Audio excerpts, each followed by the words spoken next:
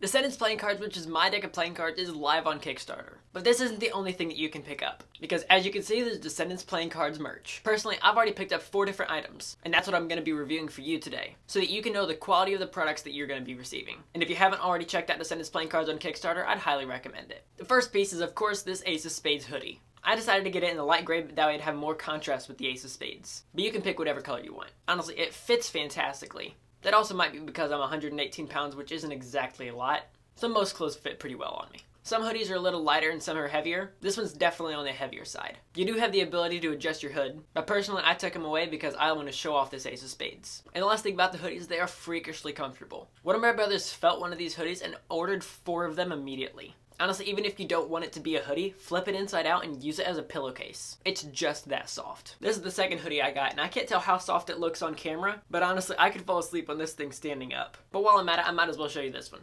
On this one, I got the white hoodie and I got the Joker. Now, the Joker hoodie that you receive will have a larger Joker than this. Of course, when I received this, I looked at it and went, you know what?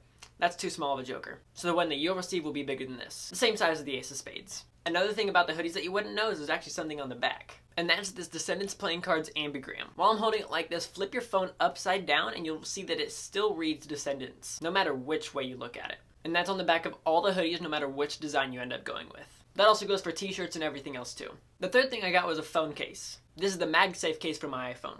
And on the back, it has the motto for Descendents playing cards, which is no matter how far you descend, you can always look up. You know how before I was talking about how soft the hoodies are that you can make them into a pillow? Well, I might have got a pillow too. And on this, I got the interlocking D's logo. This is the logo that's on the front of the tuck box. It's way more firm than I expected it to be, which actually makes it fantastic for napping. Because although it's technically a throw pillow, you're not supposed to nap on it, you and I both know that after you get home from church, the first thing you want to do is watch football and take a nap. I virtually make no money from any of the merch. Quite literally, I make a dollar from each product. I don't need much profit margin because I don't actually care about that. I mostly just want you guys to be able to rock the sweatshirts or t-shirts when you're rocking the cards. Because if I'm doing cardistry or magic and I'm wearing one of these hoodies, that's pretty dang cool. So if you want to pick up some of the cards of the merch, check out the description below. If you haven't seen the trailer, you can check it out here and another Descendents playing cards video there. I'll catch you guys in the next one. It's a CPM, signing off.